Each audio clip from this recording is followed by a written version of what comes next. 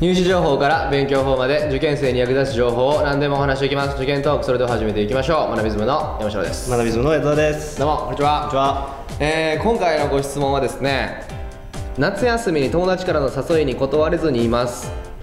はい海に行こう夏祭りに行こうなどといった誘いにすごく誘われて嬉しい反面勉強しないといけないという焦りで心から楽しめそうにないですまた文化祭も始まりまたその準備にも参加しないといけないので本当に夏休み中に勉強できるか不安です。でも文化祭の準備は誰かがしないと進まないので点々点々点々こういった交友関係であったり勉強したいのにできない環境になった時何か矢沢先生なりの解決策などあります解決策などありますか？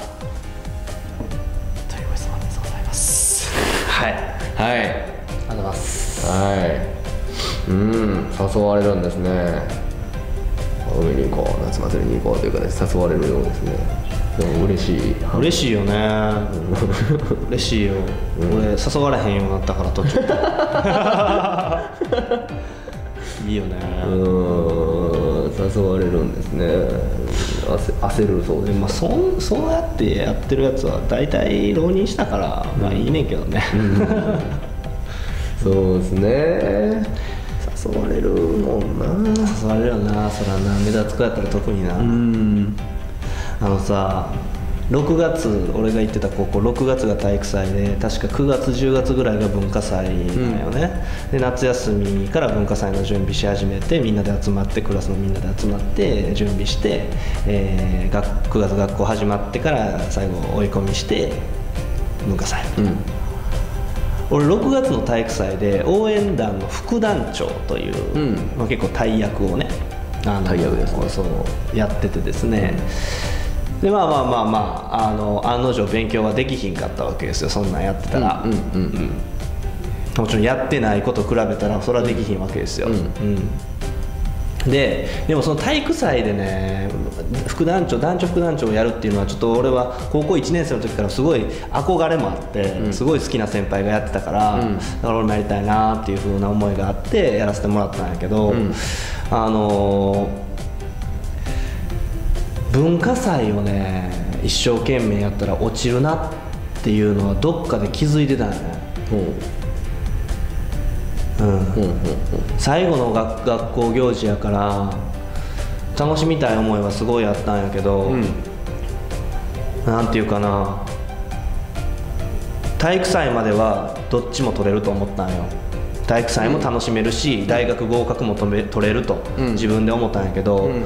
あのーやっぱり文化祭は怖くてできひん。かったん。よね、で裏方やるん。も嫌やったんよ、うん。しんどいからいろいろなんか作ったり小道具大道具作ったりするの嫌やったから、でもちろんかあの監督とかそういう重要なポジションについてしまったら時間奪われるやんか、うんうんだからねあの海賊16っていう役やりました。バリバリのちょい役。バリッバリの跳躍一言しかないだから練習に出んでいいわけほとんど、ないですもんね。ないから。で小道具大道具も作らんでいいわけ。一番美味しかった。美味しいですね。一番美味しかって。でもそれ狙って狙ってとかもうやっぱ貧縮やったでそら、あのなんで体育祭あんだけはしゃはしゃいどいて文化祭なんでそんなん投げんのみたいなうんうん感じで貧縮勝ったんやけどうんごめんっていう感じ、まあそうですね。うん。うん、もうもう決めててんそれはってん言って、うん。で文化祭はね一生懸命やらなかったですね。うんやっぱりねあのー何かを掴もうと思うとね捨てるものが必要ですから、僕はですよ。僕は体育祭取って受験勉受験の合格を取って、えー文化祭を捨てたんですけど、文化祭を捨てないといけないよって言ってるわけじゃないよこの動画で、学校行事も楽しめるんやったら楽しめた方がいいし多分めっちゃ早くから受験勉強してたら絶対楽しめるから、でも俺始めるの遅かったから2年の末やったから、もうな2年の末とか遅いわけよ全体で見たら。ほとんどもう2年の夏とか、あのー2年の末って真ん中より後ろなわけよねほとんどの受験生から見て。だって20万人受験生おる中の8万人ぐらい浪人生なわけやんか。現役生12万人なわけやん、6割ぐらいなわけよ受受験生現役生ってね、の中で浪人生毎日13時間10時間勉強してんのに現役生で遅く始めた子がこうそれなりに学校生活も楽しんでそれなりに恋愛も楽しんでそれなりに友達と遊ぶことも、えー楽しんだらそれなりの結果しか出ませんよ大学受験でも、うん。うん。絶対ずば抜けた結果は出ませんから、どれを取るかでしょ？多分自分の人生で価値のあると感じるものはあの人によって違うから受かることが全てだと俺も思ってないし、うん。あの別に大学なんて行っても行かんでもええやんって思ってるから俺、うん自分の価値高めるような場におれば俺は別に大学の名前なんてどうでもいいと思ってるタイプの人間やから、うん。だからあの何でもいい。自分で決めたらええねんけどこの質問をしてくるということはやばいと思ってるわけよ。うん。じゃあ多分それをせえへんのが正しいんじゃない、うん。だってそれしてたら本番あの時こうやったこうしちゃったからなっていう思いが全部不安になって出てきますよ試験本番、うんそうこんだけのことやったんやろ絶対大丈夫って思えるような受験生活送ってないのに、うん。受からんから大学受験ってそんな高校受験とか、ちあのみたいに甘いもんちゃうから、うん。中学受験とかより厳しいもんやから、だからね、あの今そういう場に立たされてるっていう実感をちゃんと持ってうん取り組んでほしいですね。解決策になってないんやけどね。こういった交友関係だったり勉強したのにできない環境になった時何か矢沢先生なりの解決策などありますか、うん。いやもう自分の今までの行いを恨むしかないよね、うん。勉強してなかったんだもの、うん、自分が。だからうん。そその勉強してなかったからしゃあないから、どれかちょっと落とさなあかんなっていう、うん。それか楽しんで受験落ちるかっていう、うん。うん。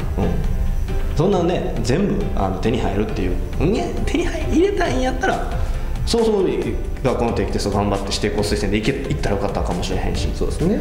うん、そもそも中学の時に高校受験の時にもっと調べてそういう校風の高校を選んだらよかったのかもしれへんし、うん。結局は自分の選択でそういうふうな現現状になってますから、うんだからあの自分の過去の選択を恨むしかないよね、まあ、恨む必要ないねんけど、だから今未来に向かって何が一番大切なのかっていうのをあの問うてあのそれを優先順位ちゃんとつけて前からこなしていく。うん。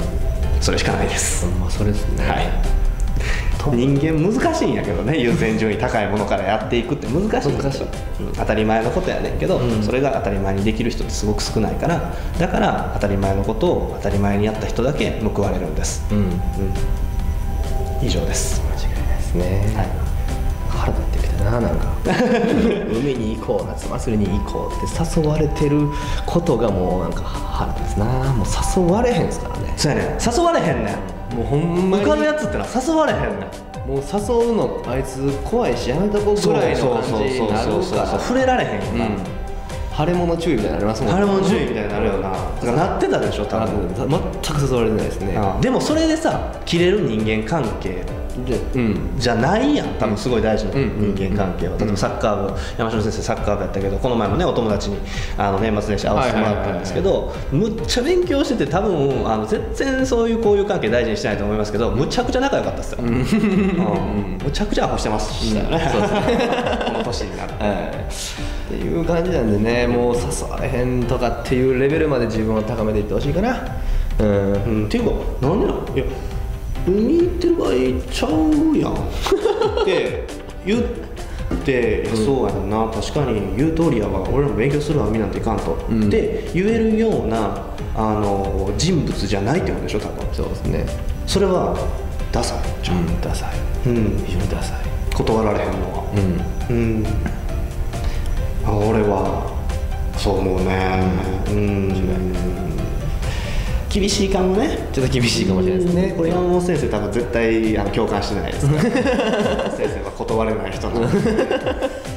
共感しないですけど、うん。うん。だから人それぞれだと思うんですけど何が大切かをしっかりと、えーうん。心の中で、えー自分に聞いてみてください。山本先生は人間関係を取ったからかわからないですけど浪人しました、うん。うんそうですね。そっちを選ぶのかあのどっちを選ぶのかもう自分次第ですから、うん。何が正解かはないからね。うん。うん。自分で決めて行動してもらえればいいかと思います。間違いないです。はい、えーそれではこの動画はこれで終わりたいと思います。ありがとうございました。ありがとうございました